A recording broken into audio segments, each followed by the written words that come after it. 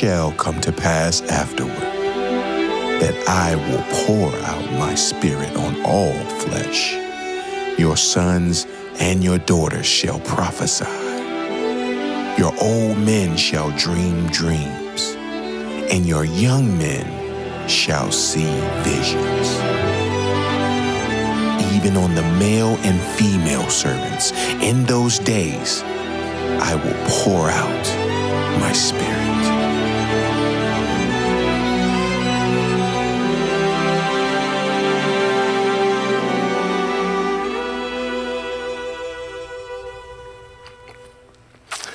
Good morning, Blue Ridge. I like that. That's for, I like that for an intro like me. It feels pretty. Um, sorry, I'm messing with my pack. I have to talk to the technical director about that. I, I, I, serve as the technical director here, but I also serve as one of the elders uh, here at Blue Ridge, and I'm excited that I get to be with you this morning uh, here in New London and in Bedford and online. Uh, you know, if you've been a part of Blue Ridge over the past several months, then you know that we desire as a church to be the kind of church where we see disciples making disciples. Um, that is, that if we're a follower of Jesus, that we're actively involved in helping someone else follow Jesus between Sundays. And undoubtedly, you've heard something about dreams and visions.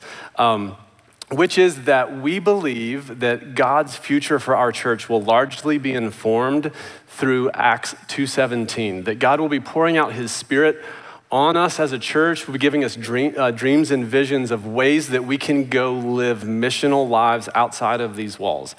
Um, and that these dreams and visions won't just come from one or two people that you see teaching from stage week after week, but from the collective whole of us as a community. Because here, here's the conviction. And you guys can go look up all kinds of research and data on this Lifeway Research, Pew uh, Research, um, Life, uh, uh, Barna Group. But the world is changing, our culture is changing. And the people that we want to reach with the good news of Jesus, the hope and the love of Jesus, statistically speaking, just are not likely to show up to this building, to this room on a Sunday morning for a service like this.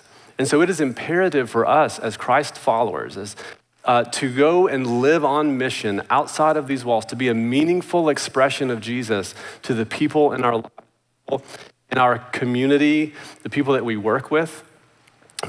And we know that there are questions about this whole dreams and visions thing. We know, you know, we've heard, you know, I hear what you guys are saying, but I'm just not quite following what you're saying. Or maybe I'm having dreams and visions, but uh, how do I know if it's really from God or not? So every several weeks, what we're wanting to do is to push pause on our teaching series to try to paint a picture for how we see God leading us, where we think He's leading us, to hope, hopefully bring that more into focus and to share with you um, that already working in our community. A couple weeks ago, we had a group of people um, on stage who were having dreams and visions uh, for, to reach the people in their community in the Appomattox Concord area, a burden to reach those people. And as they prayed about it, as they sought God's direction, um, and he kept revealing to them the next steps. It, it, eventuated into the form of a church plant. But we know that not all dreams and visions look the same. They're not all going to be church plants, although we would love to see God plant more churches out of this community. And so this morning, Steve Foster, our newest elder, he and I are going to be talking with some people in our community who are having similar dreams and visions, uh, similar burdens to reach people, uh, only it's resulted into the form of a, of a nonprofit organization. And so, what does this mean for us this morning? Well, if you're, you're a follower of Jesus, I would, if you would ask, be willing to ask God, God, what is the dream or vision that you have for my life? How can I, how can, how do you want to use me outside of these walls to be a meaningful expression of Christ to the people in my life, to the people that I work with, that I'm in community with, the, my neighbors, wherever it is? And so, would you be willing to pray that with me as I pray? Let's pray together. God, I, I do pray. The thing that, that comes back in my mind, uh, you know, out of Acts 2.17 is that I will pour out my spirit. And that's what we're asking you to do. God, we know that despite our best planning, we can come up with ideas, lots and lots of ideas. But we want to be driven and we want it to be fueled by your spirit. And so, Father, for the ones maybe that are here listening to me today that are asking you for the first time for you to give them a dream or a vision, I pray that you would. I pray that you would make it clear to them how you want them to live missionally outside of these walls.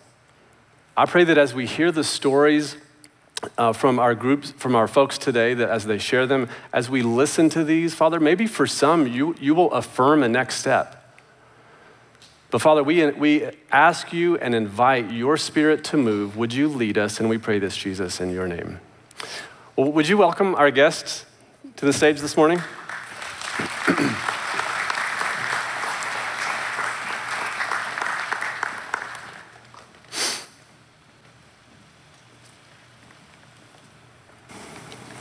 Oh, thank you. All right, well, good morning, New London. Good morning. Wow. good morning, Bedford. And good morning to those of you who are online watching. Uh, we're so glad that everybody is here joining us. So, this morning uh, we have Harley and Carla Powell. And um, you became part of Blue Ridge about a year ago when we were meeting in the parking lot at Bedford, and um, you had this vision, this dream uh, about what God was calling you to do. And so, Carla, why don't you share with, with us what that dream was and how that's being lived out today? So, yeah, my name is Carla Powell, and I'm with Anxious for Nothing. So, when I COVID took place, it allowed me a lot of opportunity to make room for God and the Holy Spirit. And I started seeking and asking God, what do you want me to do in this season? And God gave me a vision and during a prayer time of peanut butter and jelly sandwiches. And that was it. And I was like, okay, well, I don't think you want me to eat them, so you obviously want me to take them somewhere and maybe serve them, but, but where? So I continued to pray about it, and then a few days later, I had a dream that um, I was at a place uh, that I thought was apartments, and it had a whole bunch of windows, and a lot of people were outside, and there was just this fire in the corner, and then a pair of yellow flip flops on the ground. And so the next day I wake up and I tell my sister, I said, I think Sunday we're gonna go hand out peanut butter and jelly sandwiches, but I'm not really sure where at. And she said, Well, I know the perfect place. There's um, a hotel, and it's full of people struggling with addiction and homelessness and mental health that just really feel hopeless. And they don't have anything there. She's like, They don't have towels, they don't have soap. She said, They don't even have a pair of flip flops. And I knew then that's where we were to go. So that Sunday, we loaded up our truck, we took 26 sandwiches and 10 hygiene bags, and we pulled into the hotel parking lot and we dropped our tailgate and we just hollered out at all the people and said, Hey, we have lunch. And they started to come down. And from there, uh, God's continued to work in our life and provided an image of a skate park and a ministry. So from that, we started going to the skate park and doing pretty much the same thing, except teaching kids how to skateboard and asking them if they want prayer. And I was like, God, how do these two things even go together? Like, I'm in one location here and we're in another location there. And then what I was seeing is the kids that were at the skate park ministry was helping us make the peanut butter and jelly sandwiches that we were taking to these locations. So it became a discipleship. And then I seen God's plan, how it was all supposed to work together. Yeah, for sure. So, Harley, uh, tell us what's the significance of the hotels in Roanoke for you? Um, going to Roanoke to, uh, to these hotels really hits home with me because uh, you know, um, me and my mother, we actually lived at one of the hotels for a summer that, uh, that we go serve at. And, um, you know, and, and just going there and seeing the people who struggle with drug addiction and uh, uh, mental health and alcoholism. And, uh, you know, I, have struggled through my own battle of that. And uh, so it, it really hits home me to be able to go there and uh, just see these people standing out on these balconies, just, just looking for something, you know, and they, they can't find it in alcohol or drugs, and they just don't know what they're doing, and uh, they're just so lost and confused. So uh, it, it really hits home at me because you know I, have been I've been on the other end of that, and uh, you know when we first pulled up at the hotel in Roanoke, and it's like three stories, and the people are standing out front, and they're leaning over the handrail, and it's like they're just looking for something, and uh, you know, and so just be able to go there and just uh, to deliver hope and let them know that uh, you know that God will pull all that from them. Um, you know, you just have to surrender to His will. Uh, it, it's just, it, it, really does just so much. And the relationships and stuff that we have built there, and to just see these people start to, uh, uh, start to look for something different. And uh, it's been really amazing. And, um, you know, I, I, just by the grace of God, am I not on the other end of this ministry? You know, by the grace of God, am I not leaning over a handrail in Roanoke at a hotel full of, uh, you just, not, not good stuff. And, uh, uh, wishing somebody would come feed me, you know. So I, I, just, I just want to let all of them know that, you know, um, that there is hope and it's not lost. And, um, you know, that's, that's what we do there. Yeah, so for about the last year, I've been going with Carla and Harley to Roanoke. And day one, uh, they were just hotels. I had no idea about what was really going on in these hotels. And so it's, it just opened my eyes and exposed me to a whole nother world where this is where the least of these are living and doing life. And we're just, we're coming to them, we're bringing the gospel to them. So, Carla, explain how has Blue Ridge kind of partnered with you? What does that look like?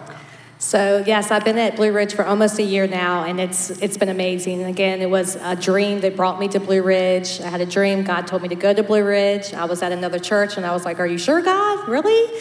But I did, and now we see why they have been so amazing. And this is now our church.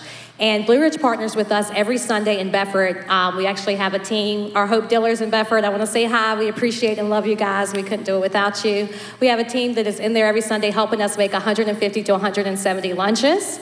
We also have um, tubs that are set out in the atrium that has um, just where you can put in canned food, hygiene items, deodorant, and stuff that we can also bring to the hotels. Um, and recently, Blue Ridge has allowed us to use their old Gorman space uh, that they have, they've, they've been blessed with, and they've blessed us to use it on Friday nights for youth prayer and pizza. So we meet every Friday night. We teach kids how to skateboard, we play games, and most importantly, we pray about what's going on in their lives, and we do a devotional, and we have a worship time. And so Blue Ridge has went along in so many different aspects of this. So share with us a story, something that has happened where you've seen God work in somebody's life. Okay, I'm going to have Harley share that story. Um, yeah, we, uh, we make the bag lunches and we staple scripture to each bag of lunch. And uh, we were at Roanoke and um, everybody comes out to the car and uh, we hand out the lunches and we ask, how are you doing? Is there anything we can help you with? Uh, do you need prayer for anything? And um, there, there was this one in particular guy that come out and, you know, he's, he's, he's not, you know, he's looking at me like, no, no, I don't need no prayer. You know, he gets his lunch and he just walks off. And uh, I, I, didn't think nothing about it. I keep doing what I'm doing. And like five minutes later, he comes back to me just bawling, just crying.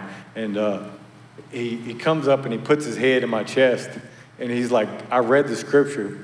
And uh, God, God told me to come back. And, uh, and uh, you know, it was, uh, here, I, here I am standing in this parking lot at a hotel with this grown man and his chest in my his head in my chest and he's, and he's crying. I mean, I'm not talking about just a tear. I mean, he is bawling, crying. And uh, so I just, I just embrace him and uh, I start to pray. And I pray for, you know, uh, comfort and strength and guidance. And, uh, um, you know, and I, I, could tell, you know, um, and, and just I, the things that happen at these hotels, there's so many stories that I could tell. This is just one of many of them. And the experience and the things that continue to happen there is, uh, it, it's no mistake that God has us there for a reason. You know, He's led us to these places to, uh, to deliver hope and show people that they're, you know, uh, that hope isn't lost. And, uh, but yeah, and I, I, tell you, and the, the, it just keeps growing. And it's just so amazing to see uh, God's plan unfold and to see these people. Uh, that particular guy, like I didn't see him the next week, and it was a couple weeks later. We see him. He comes back to the hotel and he's got like work boots on and a vest, and he's got a shirt that says something about Jesus on it. And uh, I'm like, "How are you doing?" And he's like, "I got a job, man." He's like, "I'm getting back on my feet." And I'm like, "Do you need?" He's like, "Yeah, I will take another one of those lunches," you know. but uh, it, it's it's just amazing to watch God's plan unfold. So hold on to that mic. Yeah.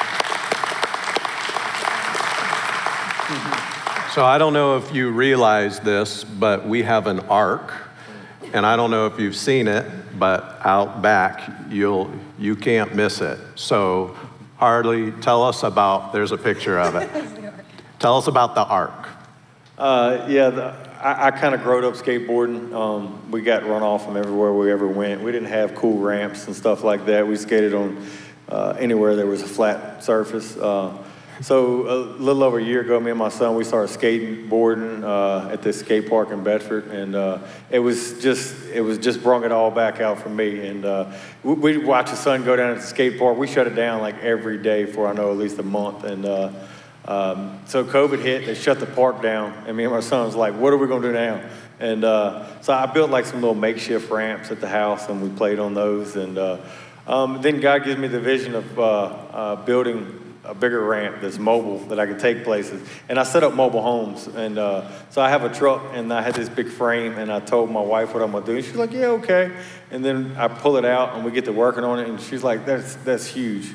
Um, and I'm like, you know, uh, it's a vision that God had given me. And everybody's asking me, like, do you have a blueprint or God or how you? And I'm like, I, I got a picture in my head of what I want. And then everybody's like, it's going to be really big. I'm like, yeah. And as I'm building it, like uh, I, I, would go home at night and I would sit there and I like I could not stop thinking about it. Like, okay, this is what I'm gonna do next. It seemed like we would work a half a day and we get to a spot and they're like, what do we do next? I'm like, God, God hasn't shown me that part yet.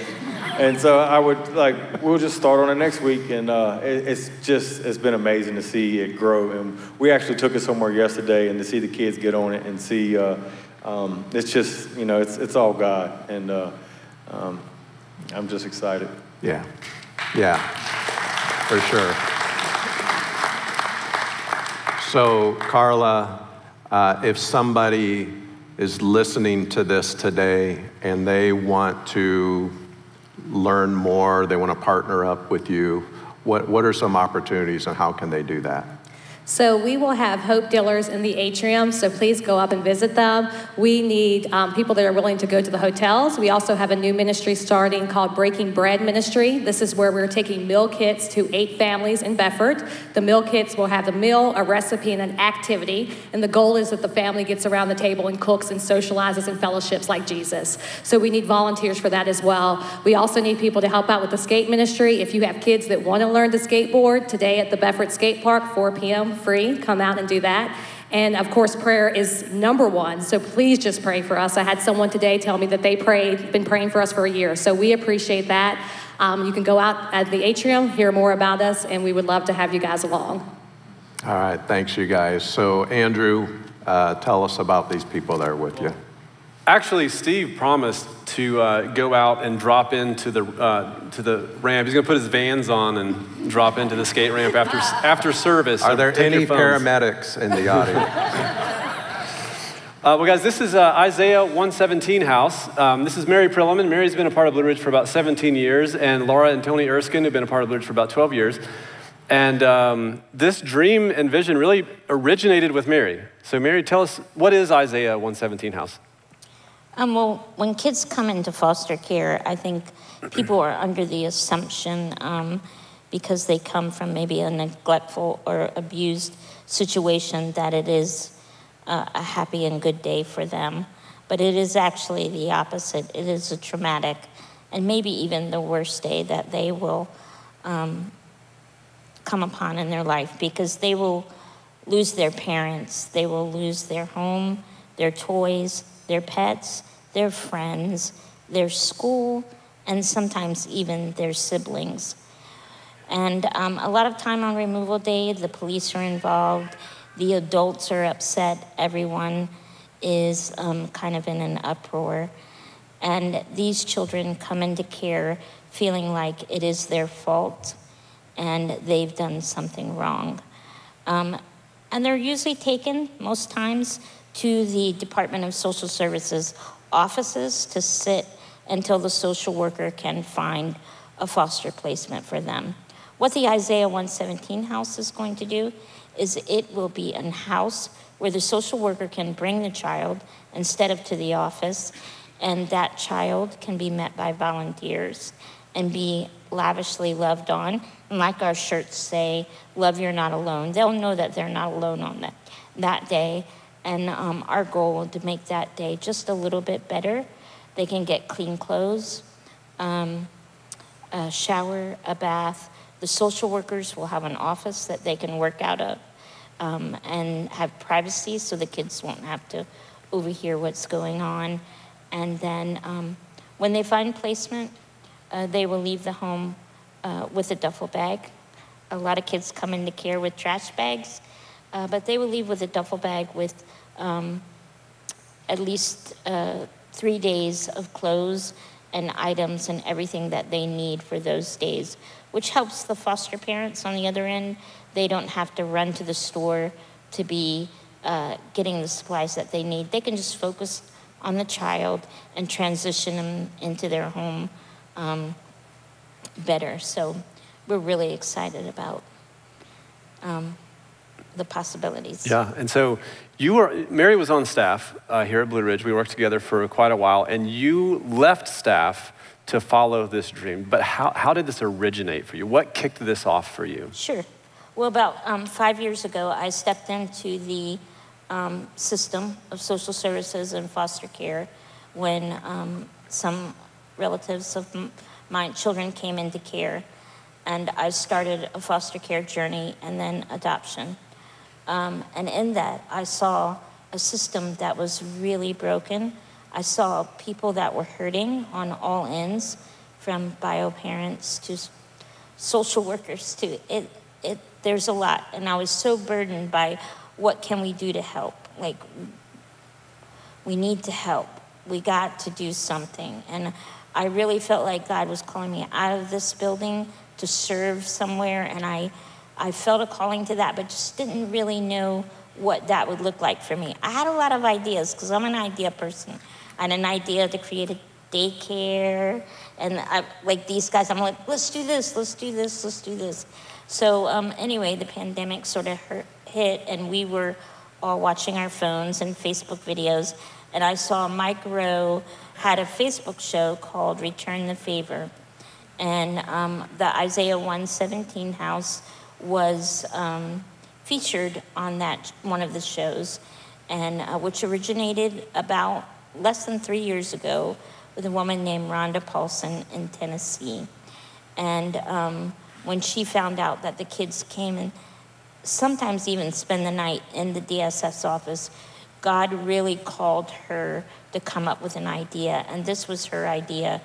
And it just hit me that this simple thing would reach and help so many problems in care. And so I was really excited about the video, and I sent it to um, these folks here, and then um, Dana and Tyler, who are in Bedford, you can go out and say hi to them. Um, so I sent it to them, and then crickets, nothing. They didn't say, I said, I really want to do this, sent the video. And um, so about a week went by, and I was like, hey, did you watch the video? And they were like, oh, not yet, not yet. So um, Tyler and Dana said, I'll watch the video right now. And um, they watched it, and it was about 17 minutes long, and I got a call 17 minutes later, and Tyler was saying, we're in it with you. What do we need to do? And that's where our journey began. And by the way, so again, this is, I would encourage you guys, go on Facebook, you can search it. Um, Mike Rowe, Return the Favor, or you can just uh, search Mike Rowe, Isaiah 117. It is absolutely worth your 20 minutes. It gives a little more behind the story about how the Rhonda Paulson had a dream from God, and it's kind of trickled out. So, uh, uh, Mary, it originated with you, and then you guys, how, how, how does this look for you to get involved?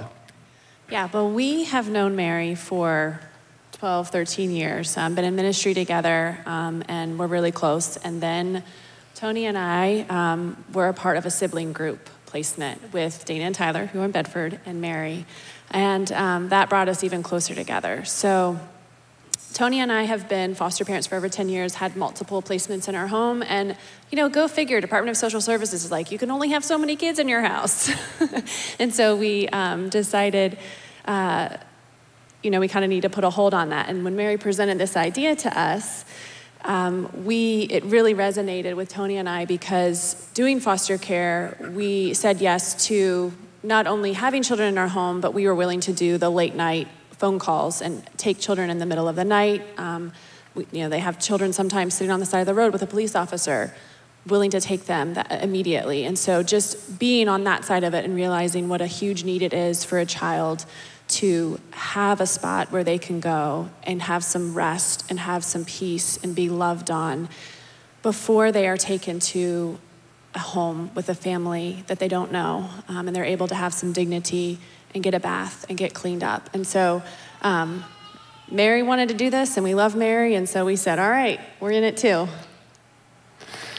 And you know, one of the, one of the things as we were talking a couple weeks ago, it, Tony said something that reminded me of a mentor of mine that I had in college. He said, um, "I'm here to teach you. Uh, I, I'm here to encourage you towards Christ, and maybe along the way you'll learn some business policy." That was his mindset.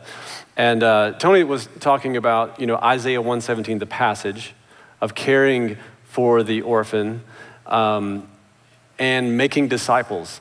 And so, tell us a little bit about that. Yeah, yeah, absolutely. Um, it's so important for all of us, um, not just us at the Isaiah 117 house, but also us at Blue Ridge, um, to keep in mind that Isaiah 117, the passage, came way before Isaiah 117 house, the ministry. And it is way more important for us to answer that call, to learn to do right, to seek justice, to defend the oppressed, to take up the cause of the fatherless and to plead the case of the widow, right? We are just doing a small part of that. And our prayer today is that, and, and for everybody who serves, that, that's, that's where our heart really is, is for this to be a place where people can um, start to realize their calling, or if they're not sure of what, what is my calling. Well, you know, what he said a couple of weeks ago, you, you can't, it's hard to steer a parked car, right? And so, for this to be a place where people can start to serve and to start to say yes and to realize what God's true calling on their life is, and it will tie back to one of these callings in Scripture, like Isaiah 117. Um, I think maybe one of the biggest things, because sometimes it feels like a guilt thing. Like, it, I think one of the biggest things is to, to look up here and you see a bunch of just plain old normal people. I'm a computer programmer, she's a housewife Mary's disabled. I mean, we're just normal people, right? We, we have all our normal challenges, but there is a, we're also joyful people, right? There is a joy on the other side of yes that if you're not saying yes, you are missing out on. And I just want to invite you into that today. Not a guilt thing, this is an opportunity. And not just with us. I mean, maybe it's the shut in widow that, that you drive by your house every day when you leave your neighborhood. But whatever it is, um, yeah, just say yes. Awesome. And, um, you know, Woody spoke a couple weeks ago on following the cloud. Uh, Harley alluded, alluded to it about, you know, building this thing and not sure what to do next. And so, as you guys are walking through this, it's about a year and a half old. The Dream and Vision is about a year and a half old for you guys. Um, where are you at currently? Well, currently we just had our kickoff, kickoff in March. Um, and so we're in the awareness phase. But, um, you know, we don't have a physical house yet, but we're not waiting um, for a house to serve and to love on these kids. We've partnered with the um, uh, Child Protective Services. They call us when they have a removal. We are serving the children right now that are being removed. Um, we have a storage area. We've had actually people in this church who have done clothing drives and you know we're looking to do diaper drives and build up this resource room that we can serve um, the kids as they come into care and the foster uh, families um, so we're doing that and um, we have a lemonade stand challenge lots of things going on um, as far as serving um, and one thing that we're really um, is prayer like carla said we believe in the power of prayer. So, us as a, uh, a community, um, as Isaiah 117 community, we set our alarms at 117. I even have them go off in the middle of meetings, and I just say, hey, let's stop and pray. Gives me an opportunity to talk about what we're doing. Um, but we set our alarms for 117 every day and pray for Isaiah 117, the houses, the missions, um, our yeses, where we're going and what we're doing. We'd love for you to partner um, with us in that. Yeah, if you feel like this may be lining up with a dream or vision that God is, is stirring up in you, that would be a next step is to pray at 117. Um, what would be another way to get involved with you guys?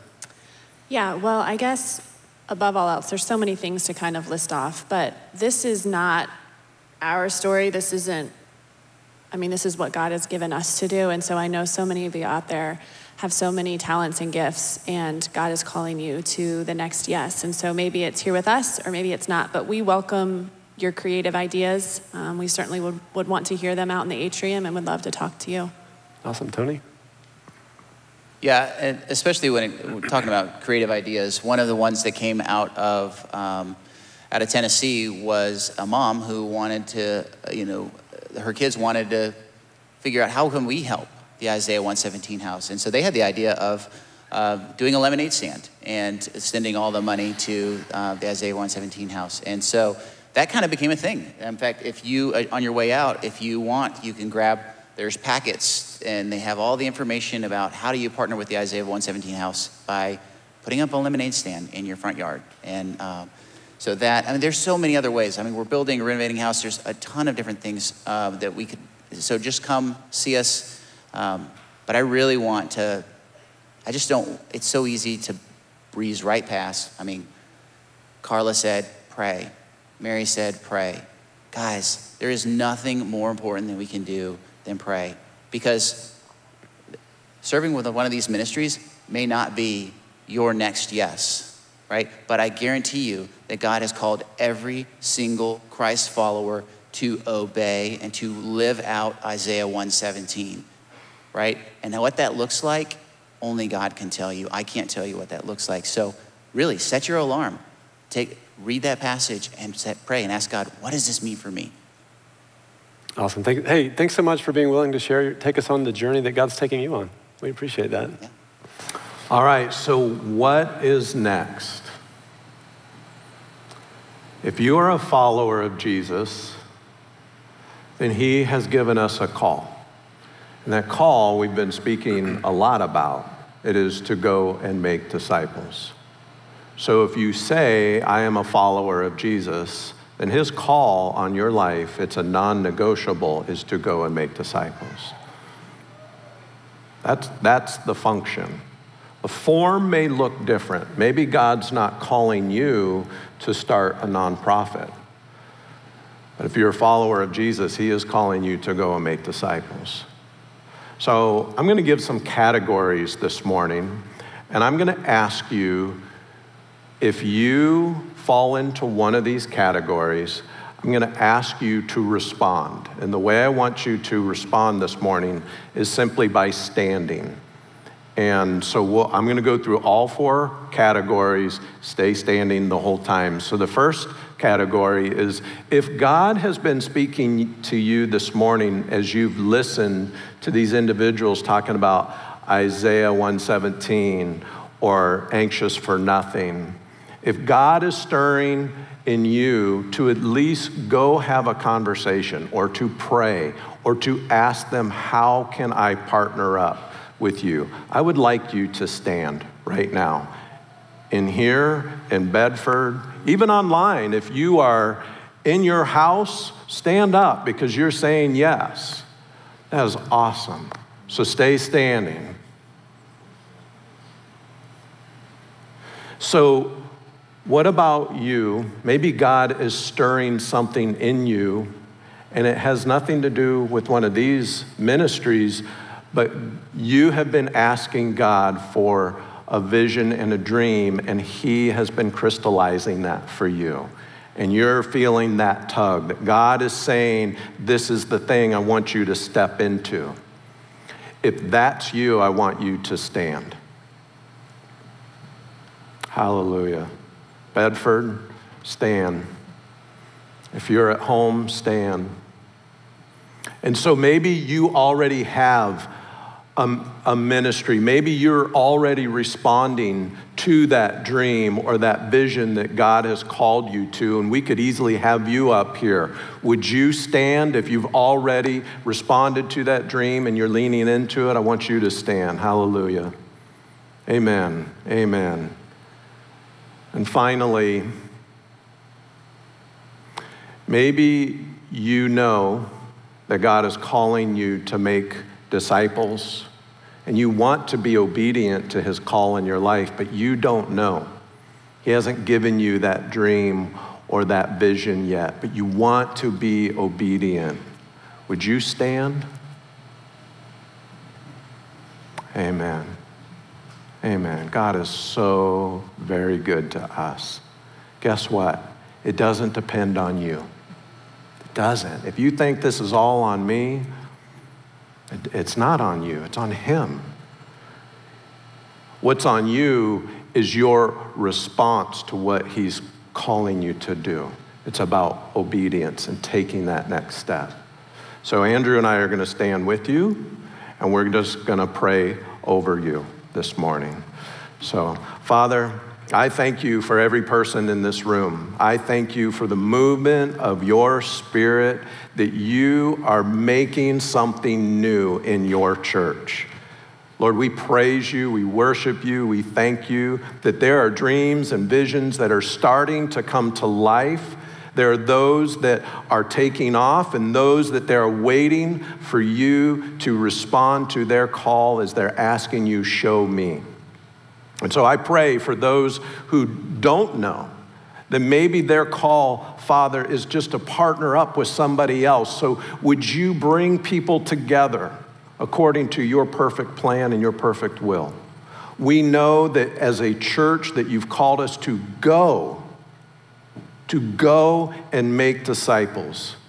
My prayer for us is that when we come back on Sundays in the future, that we will be celebrating and telling, telling stories and worshiping you and praising your name because of the things that you're doing between Monday and Saturday. And so, Father, we thank you for the people that are standing. And I pray your blessing and your Spirit's power on them this morning. Father, I'm grateful for your goodness to us as a church and for the ways that you're leading us as a church. Um, Father, again, coming back to Acts 2, that you would pour out your spirit on us, that you would give us the dreams and visions. The thing that I love, Jesus, you said the harvest is great, but the workers are few, that there is so much work to be done that, you know, not any one person can do it. And so, would you give us the kinds of dreams and visions that would make us into the church? uh, the kind of church where we are seeing disciples that are making disciples, that we are making a kingdom difference outside of these walls. I pray especially for the ones who are saying, you know, God, I want to follow you here. I want to be obedient, but I don't know what it is you have for me. And I pray, Holy Spirit, that you would reveal that to them. I pray that you would show them clearly what a next step is. And we pray this, Jesus, in your name. Amen. Amen. Stay standing. You're going to like this song. Awesome. Well, yeah, we are going to sing a new song. We're singing a new song. Some of you guys might know, some of you might not know it, but this is our opportunity to give God praise for what He's done, for what He's doing, and at the same time, look the devil in the face and say, What do you have on this? What do you have on my God who is already defeated you? So if you can, join your voice in. If not, let's clap together. Let's raise our hands together in victory. There is no shadow that has ever overcome your light. There is no rival that could ever stand against your might. You've always been with us. Every battle you've already won, you've already won. There is no weapon that has ever left a mark on you. There is no army with the power to conquer truth. You've always been with us. Every battle you've already won, we've already won. Come on, in faith we say this. Show me one thing he can't do. Show me a mountain he can't move. He's the God of the breakthrough, and anything is possible. Show me one thing that's too hard. Show me waters he can't part. He's the God of the breakthrough, and Show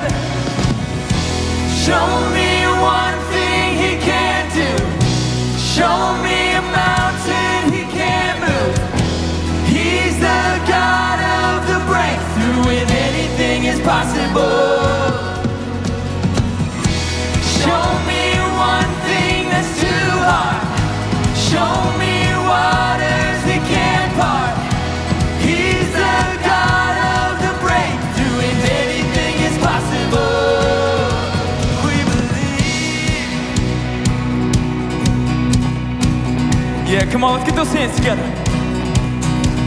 Now all of my fear I will turn into praise. Shake off despair as I sing out your name. A victory dance I will dance out in faith.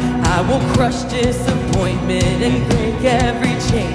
Now all of my fear I will turn into praise. Shake off despair as I sing out your name. A victory dance I will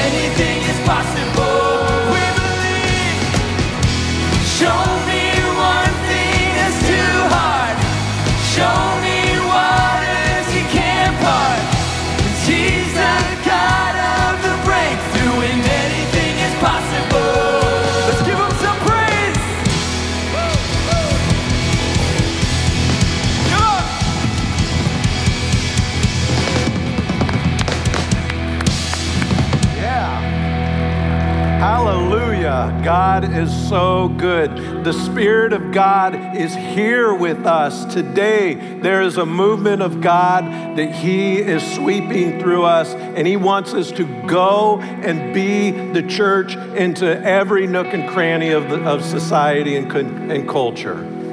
We get to do this. We get to. I want to show you a posture of your next step.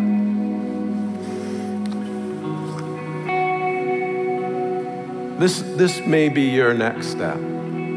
Just get on your knees and lift up your hands and surrender to Him. And say, Father, here am I, send me. I know God is moving in you today. I know He is because He's going to do, He's doing something here at Blue Ridge. Be obedient to His call. Go and make disciples. Step into the adventure that He has for you. He will blow your mind. We get to be part of this. Thank you so much for being here today. Now go and make disciples. Have a great day.